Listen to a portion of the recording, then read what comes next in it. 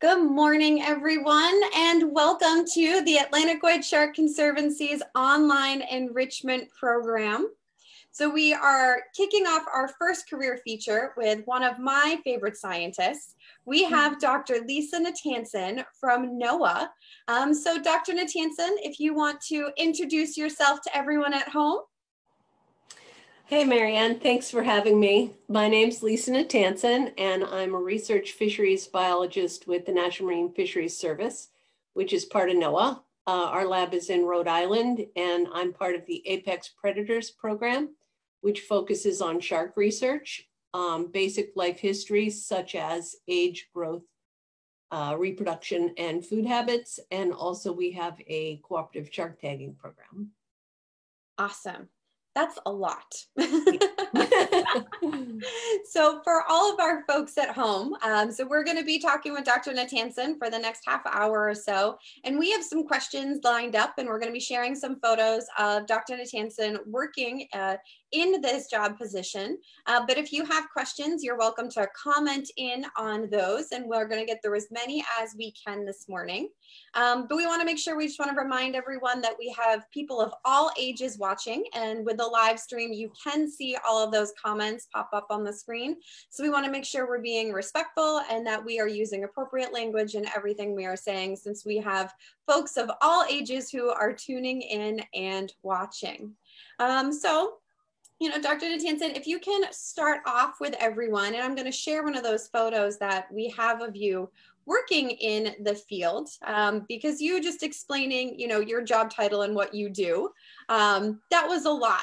So maybe if you want to break it down a little bit into, you know, what a typical day can look like and maybe some of those projects that you've been working on. Okay. Um, well, one of the things I like about the job is there's really not a typical day we have a field season, for example, starting there that starts in about June and goes through September. Um, during that period of time, we spend a lot of time um, collecting samples. We do this by going to shark tournaments, which is where people um, fish for sharks for money and they bring the sharks in and we're able to dissect them for samples. This helps us because it's opportunistic. We can get the samples without actually having to go out and um, sacrifice animals ourselves. Um, I In this picture you see here, I'm on a commercial fishing vessel. They let me go out on this uh, vessel and tag sharks. This shark's about to be released. I had just tagged it. And so we're able to go out and do that kind of thing. These trips are about a month long, uh, which is pretty exciting. We also do our own research surveys to collect uh, shark data. They're tagging trips, but unfortunately there are mortalities uh, associated with that. So we can get our life history information. So, uh, so basically the tagging aspect, we have a lot of people who tag for us, including ourselves, obviously. And they give us the data. And then when the shark is recaptured, uh, we get the data back and we share it with them. And We've had about 300,000 sharks tagged this way. It gives us a lot of data for information on distribution and migration of the sharks by species, size, and sex, um, which is very useful for conservation. You need to know where the sharks are. The other thing that I particularly specialize in is determining the age of shark. Um, we need to use dissection to get uh, that uh, information because we use the shark vertebral column at this point. Um, they have vertebra that you can count band pairs, and uh, they're similar, uh, though not exactly, to rings of a tree. We don't entirely know what the rings are. As you can see in this picture, um, we slice the vertebra and count um, what we consider a band pair, which is a light and a dark band. And that equates in a lot of species to um, an annual ring. So you would say, for example, this fish is four. It doesn't always work that way, but we don't want to get into too much detail here. The other thing that uh, I particularly do is shark reproduction. And um, again, that's something that right now we need to do by having um, deceased sharks. So we dissect them we're actually working on projects that will um, compare lethal and non-lethal methods. So we're trying to make it so that all we'd have to do is get a blood sample. So you wouldn't have to use a dead uh, animal, which would be great. Less, less animal sacrifice. So um, that's on a day-to-day basis. I could be in the lab cutting vertebra. I could be on a boat collecting samples at a dock, um, or I could be writing a paper, just doing charts and graphs or, or entering data. So it's, it's kind of um, great not to have a, a typical day. And, and Marianne, as you know, sometimes we get a call and we have to run off and dissect something that's stranded on a beach. You've done that several times. I have. It's always exciting when I get a call from you because I know I'm going to go on some kind of adventure. it is fun. um, so let's you know, in bringing up the, you know, looking at doing some of the dissections, you know, we do have a few photos of that, which, you know, before I pull this up to full screen, just for anyone at home, you know, it is a dissection photo. So you're going to see some of those internal anatomy parts and it's a little bit of a messy photo, but, you know, Dr. Natanson is going to explain, you know, what's going on in this, but just to prepare everyone. Um, so you had mentioned how you, you know, get samples from both some of the fishing tournaments that take place, you know, as well as working with fishermen. Um, so we have a few photos, you know, if you want to explain a bit about when you go out, you know, what this process is to get those samples. So this um, this was from a shark tournament in Massachusetts last year. And um, they had gotten a couple porbeagle sharks that we dissected. What happens is they bring them to the dock, they weigh them for the tournament, and then the um, owner of the fish, who's the person that caught it, um, allows us to dissect the fish. So we then um, basically just cut it open and do a large number, probably about 20 measurements of the shark on reproductive condition to find out exactly um, how each of its organs is um, growing in relation to its body. We look at condition of the fish, we take samples not only for ourselves, but for other people who are doing DNA or parasite studies or any number of studies, olfactory studies, anything. Um, if people ask us, we'll, we'll take the samples if we can. Um, so in this particular case, um, we were at, at this point doing the reproductive um, uh, data collection, and then we'll take uh, usually the whole backbone now, if they'll let us, of the fish, and then what other, whatever parts and then they take the fish and eat it.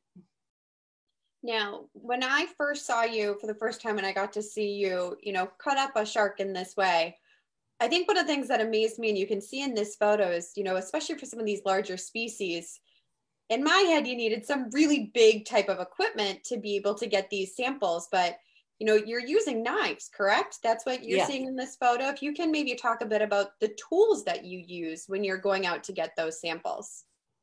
Yeah, everybody expects us to use big saws and things like that. I actually use what's called a six inch boner, which is a six inch knife with a semi-flexible blade. Um, the key is to keep your knife really sharp. And so I'm constantly sharpening the knife. So you need a knife, you need a wet, whetstone to keep it properly sharpened. You need uh, measuring tapes, um, calipers, which is a measuring device for uh, much finer scale to get like uh, percents of millimeters, partial millimeters. Um, we don't use a lot of equipment, honestly. It's it's mostly that knife that you need because you have to, you know, cut through the fish to get inside and then cut some of the organs out and the, and the vertebral column out. If, if you know the anatomy of the shark, you don't need to use saws and things like that because you can find your way between the uh, cartilage. Shark mm-hmm being cartilage, not bone. So. And so the, you know, this photo showed at a tournament, um, but this photo hmm. here, um, where was this one? And, you know, uh, for some folks at home, because the size of what they're looking at, they might realize what species, but if you could give us some background on this photo. Yeah, I think this one was probably in Wellfleet. We get a lot of basking sharks in Wellfleet. Um, a lot of sharks in general wash up in Wellfleet for some reason. So this was a stranding that we got called on. And I'm trying to keep a lobe of the liver from floating off um, before we get a chance to weigh it, um, which is why I'm kind of straddling it and holding it there. It wasn't overly successful as I recall. You can see this fish is, is also fairly decayed. Um, a lot of times we don't get there you know, they strand after they've been um, washing around for a while offshore. But this is um, the kind of opportunistic sampling we're able to get because, of course, we're not, people don't kill basking sharks, luckily, and uh, we don't get to see them very often, but uh, this was one of those situations. So we do the same kind of dissection, um, looking at, at the food and the liver and, and all that for the food habits people, which is why we're trying to keep this liver. But it is, it's a big animal. It's over 20 feet long. Yeah. And, you know, having been one, you know, this is sometimes what we get the call for. Since you're mm-hmm. based down in Rhode Island, we're up here on the Cape of, you know, a report comes in that a shark is stranded. So we'll go and try to find it for you. And sometimes it is really challenging when you get those calls. You know, we're out there and we're looking, but you have to balance the tides that are happening to be able to get those samples. Um, and then can you maybe even talk a bit about then how that comes into the safety factor of, you know, when you're working out in the field, you know, and how that makes, you know, the safety part as well as how that maybe makes your job a bit more challenging of, you know, sometimes having to get this quick response to things.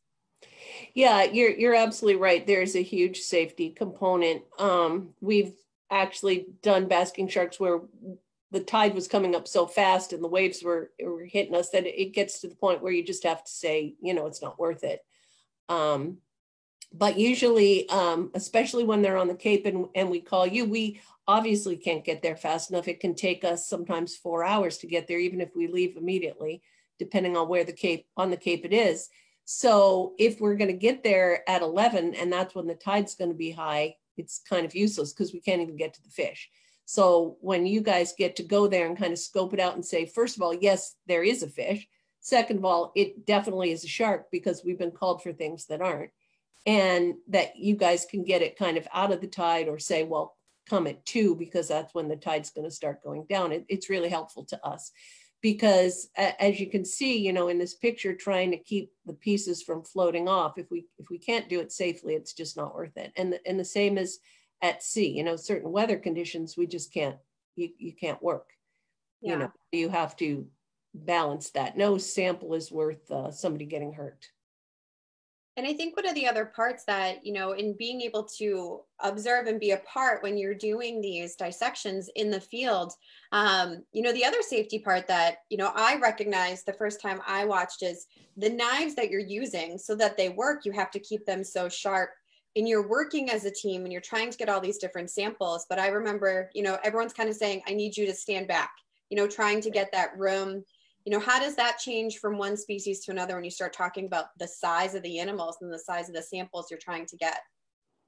Well it's kind of a, a certain working space that you need. Um, when i'm dissecting i'm not paying attention to what's going on around me. I'm just paying attention to the fish so if all of a sudden someone comes up behind me and i'm cutting I, I might not know they're even there or you know, if a knife slips, and unfortunately, it's I've slipped a couple into myself. You know, you, you can get hurt.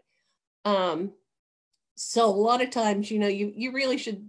It, you know, everybody wants to get in and see what you're doing, but you got to be aware of, of what's going on. You know, uh, when we do the uh, sharks the tournament, like in that last picture, you saw the the woman was holding the shark open um, mm-hmm. there. People want to, you know, I'll start to cut from the, you know, cloaca up. And people want to immediately stick their hands in. And I'm always like, do not stick your hands in there until I tell you to stick your hands in there because I'm cutting. And uh, I actually did cut my boyfriend because he dove his hands in there. Really? And he's like, oh, you told me not to, but it wasn't bad, but still. Yeah. You know, want to be cutting people because it is different you know being in that field environment and i don't think everyone always realizes that that you know, you think about a lab setting, there are the protocols, there are things you have to follow, but in the field, you have those same things and it's all about people's right. safety.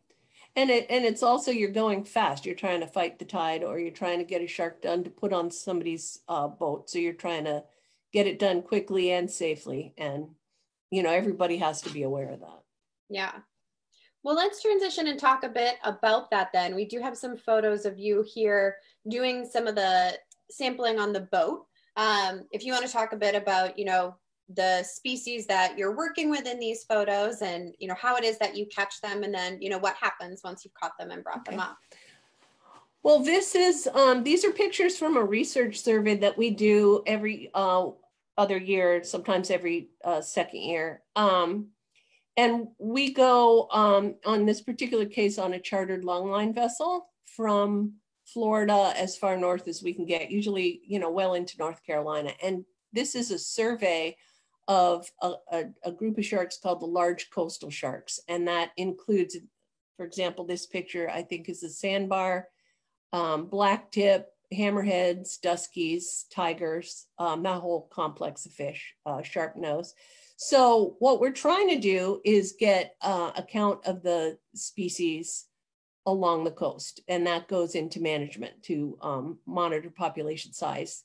We're also looking at distribution by size and sex and, and species composition. So the main thing we do on this is, is we go out and we uh, set 300 hooks, baited hooks, we let them soak for three hours, we pull it back, and then we go to the next station. We work 24 hours a day for about 47 days, okay, and get as many stations as we can done. So the main point is to get these numbers, and we tag the majority of fish brought on board um, or in the water. And in this case, on the left-hand picture, I'm tagging the shark. Um, and on the right-hand picture, we're then cutting it loose. If a shark is small and we can bring it on board, we'll do that and take out the hook.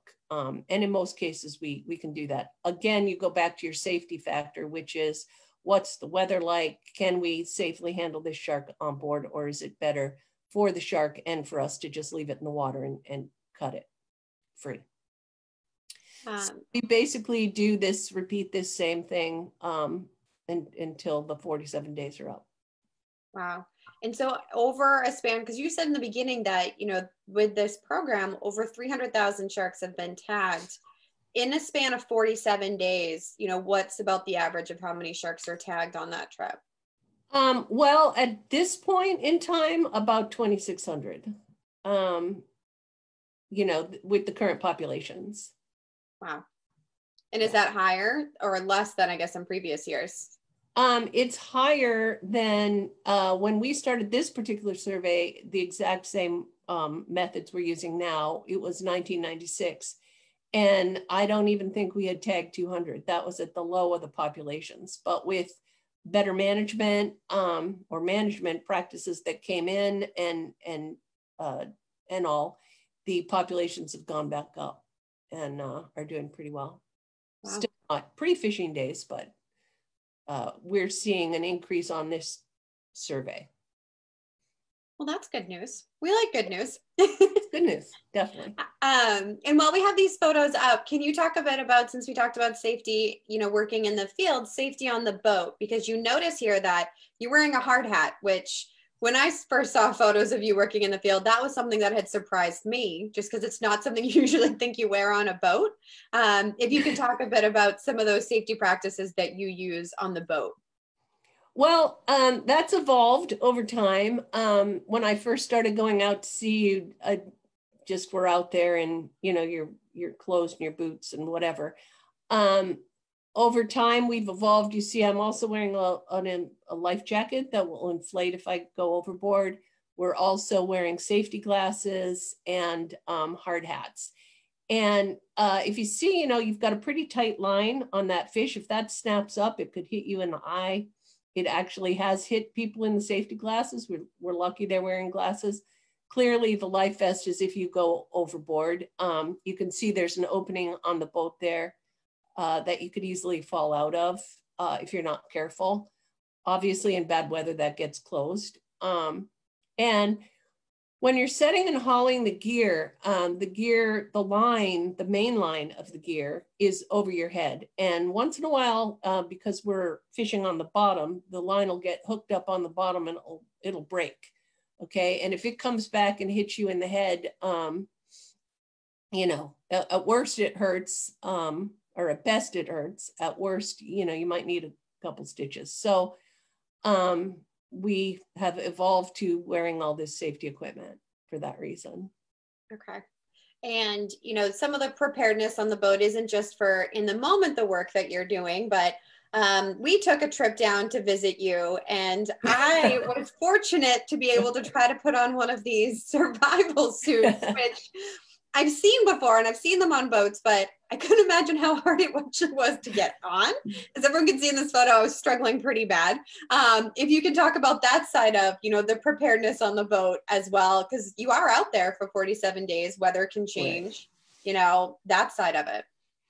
Well, um, when you get on on pretty much any vessel, uh, you do get a safety talk, which includes uh, what to do if you, well, what the alarms are, what to do if there's a fire, where to go, what to do if you have to go overboard. Um, the survival suit that you're trying on here, um, theoretically, you should be able to get it into it all the way zipped up and ready to go within less than one minute, which I think we were timing you at, at the time. Yeah, and I didn't make it. um, you get used to it. You know, you you have to practice it. Um, and and when you get on each boat, usually they make you do it at least once, or sometimes once every two weeks uh, depending on, on the vessel. But um, it is important to have these evacuation plans and things like that in your head so that you don't have to think about it. You know what to do um, instinctively in a way because things can accidents can happen quickly on on vessels so you need yeah. to know what to do um, so for you, you know, in getting to the point where you are in your career, um, you know, what where did you go to school? You know and how did this all start for you? Yesterday we read a story um, shark lady about dr eugenie clark. Um, so can you give everyone at home you know a bit of background? You know for her in the story we learned how she was inspired by going to the aquarium. You know where did your inspiration come from? And then you know how did that lead to you know, choosing a school where you went to school and so on? Okay.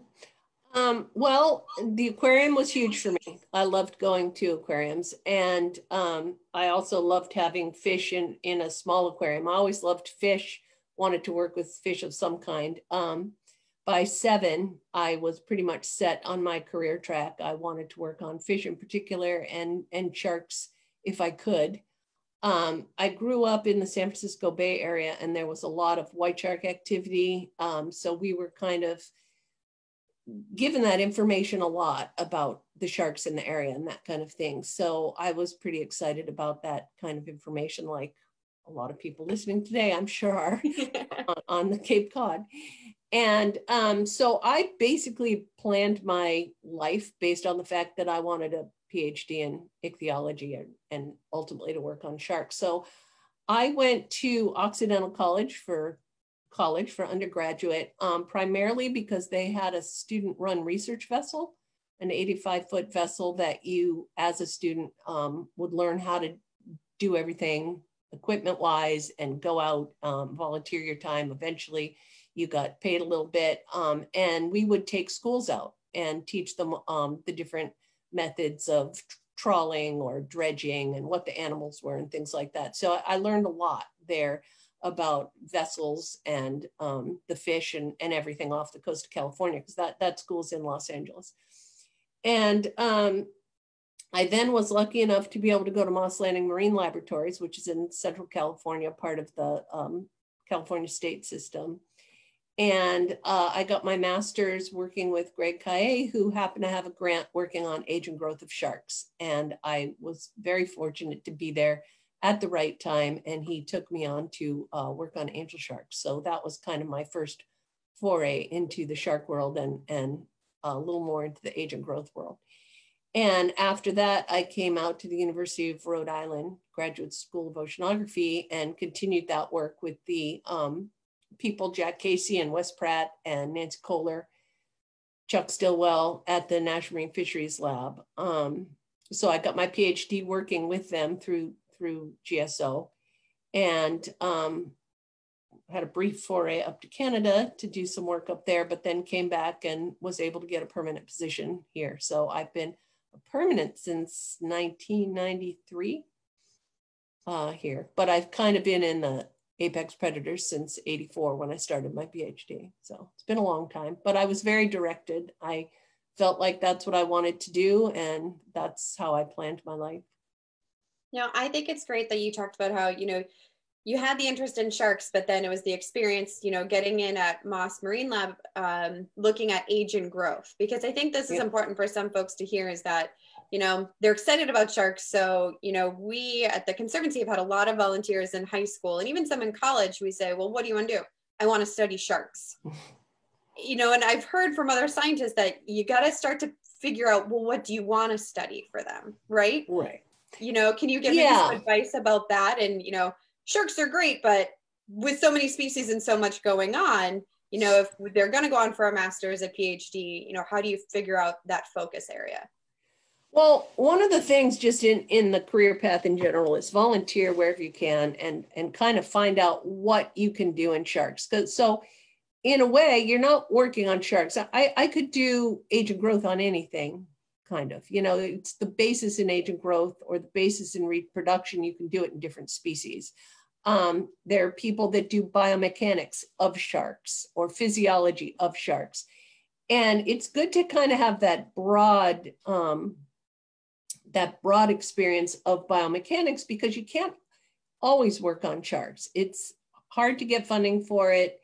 Um, you have to kind of be lucky. I was very lucky in my career to be able to and, and be at the right place at the right time. I, I say if you work hard enough, you can get there, but a lot of times you might have to do something else for a while. I had to work on age and growth of cod for a while um, to in between my PhD and getting my job here. Uh, so you need to kind of have more than just I want to work on sharks because as you say, there's more parts to it. And you have to know what you want to do. So if you look into what other um, what disciplines there are, like biomechanics, physiology, life history, whatever it is, and then apply it to sharks. Um, I have a friend who's a veterinary pathologist and she works on sharks. So a couple friends actually. So you kind of have to put those two together. And, and the reason I say volunteer is because you might say, well, boy, that sounds really great to do age and growth of sharks, but then you don't like age and growth or you don't like the reproduction or whatever. But if you get a taste of each thing, then you can narrow it down a little more. Yeah. Yeah. Um, Do your research on that. Yeah, that's great advice for everyone. And I think another part that we had the question come in yesterday that ties into this a bit is, you know, that PhD level.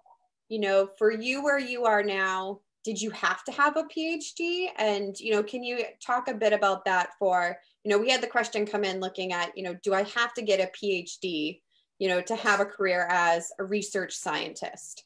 Um, you know, or is it a master's? Is it an undergraduate? You know, where that line goes, you know, in the career track.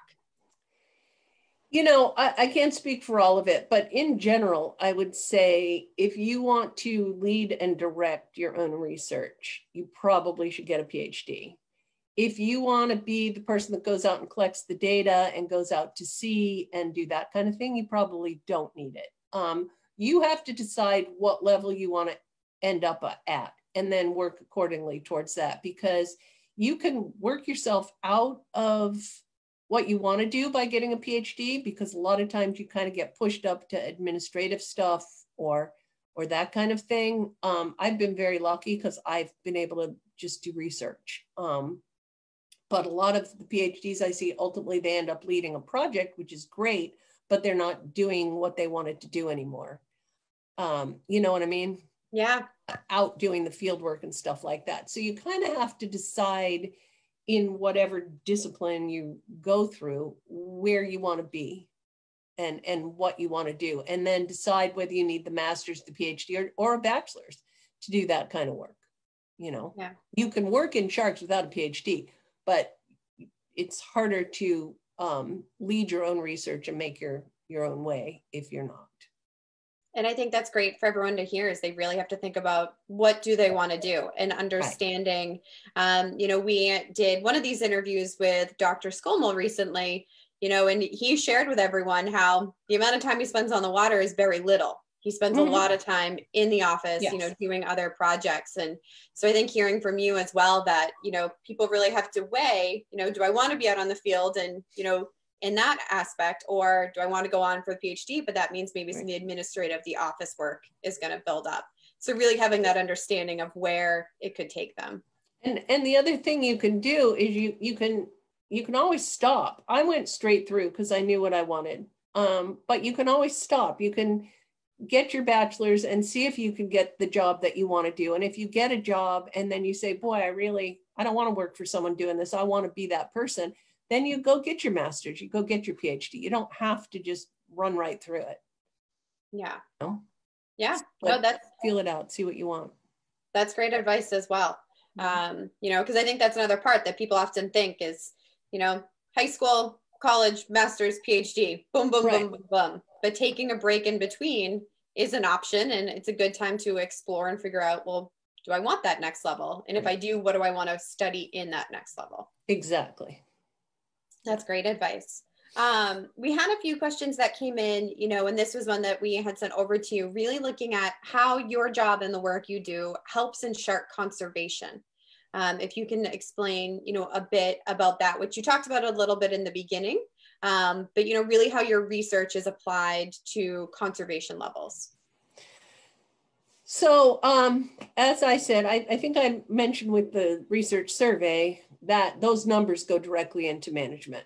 Um, the National Marine Fisheries Service is tasked with managing the, the fisheries of the nation. Okay. So, our data, you know, we're part of National Marine Fisheries, obviously. So, our data goes directly to them for that process. The age and growth and the reproductive data fit into what's called demography, which is basically what is going on in a population. Okay, so for example, if we're doing um, a full study of age and growth and reproduction of a species, you find out that, say, the species um, matures at 10 years old and has four pups every other year, and it lives till it's 70. You can calculate how many pups it has throughout its lifetime which is productivity, which all of that goes into the management process to determine how the population grows and how much can be taken out of it for either fisheries or natural mortality or whatever. And then they can figure out the best practices for management. And as I mentioned, you know, using the data that they have and they update this on a consistent basis, um, we've brought the fishery back, the large coastal sharks back from when we first started this survey in 96 up to now um, in increased levels, at least according to our survey index. And um, so, so basically we do this very basic life history data that then goes into the management. Okay. Um, and I think that's, you know, looking at the government side of it and that management, you know, part is, you know, is that another, you work closely, you know, on the government. I mean, NOAA is a government branch. Um, Mhm. but you know, it's not just NOAA you're working with. You also just brought in the National Marine Fisheries Service. So it's Well- a different, and I always get this part confused. I know, Yeah. I think it's all under National Marine Fisheries is under NOAA. So it's the same thing. same thing. Okay. But the, so the different branches under NOAA Yeah. working collaboratively. Okay. Yeah. I think that's what the question that had come in, I think was looking a bit at that, you know, the different groups that are working on it Yeah. for all that data for the management. Well, and and we also work with international groups as well. You know, the in, in um, International uh, Commission for uh, Atlantic Tunas. I can never remember the exact acronym. ICCAT. You know, they they use our data as well for for that kind of thing. So okay. Um, and in looking at um, a question came in about, you know, those surveys that you've been on, um, you know, what has been the most interesting shark species that you've seen? You know, have you had one of those moments where something came up and you were just so surprised, you know, wasn't something you were expecting or you hadn't seen before? Um, not so much that we weren't expecting because it's kind of similar every year, you know. Um, but uh, last time we were out, which was 2018, we got a tiger shark that I'd just never seen anything so big. Like it's it rolled up on its belly and it was just I can't even describe how big this thing was. It was just so fat. It was just really amazing. It was really cool. Yeah you know, it's kind of things like that when you see something that, you know, you're getting all these little tiger sharks and all of a sudden you get this just enormous, like 14 foot tiger shark, but it's not even the length, it's just how fat it is. You know, it, it kind of cool. Yeah. Um, That's But, what I think know- thing that's always amazed me about sharks is everyone always talks about the length. But when Yeah. you actually can see the girth on them, that's what always amazes me. Like, it's amazing. yeah, and when they get big, they just don't even look like the other ones. I mean, they're just so big. They just look crazy strange, you know, especially when they get so fat. yeah, You know, the thing about about fishing and, and long lining in particular, you've got hook after hook coming in, and everyone's like a little present because you have no idea what's going to be on it. So it's really kind of neat. All of them are neat. You know, the little tiny porbeagles that look like little footballs. Those things are awesome. They're so cute, roly poly. You know, so they, you know, they're all kind of interesting in their own way. yeah. You know, Um, and we just had another question that came in. You know, you talked about before that, you know, you're cutting the hooks. Um, But Mhm. can you talk a bit about what happens, you know, if you're cutting the line and the hook is still in the shark, you know, what happens in that process? Yeah, um, so we cut the line as close as we can to the hook, which usually we can cut the whole line off. Um, and the hook does stay in the jaw.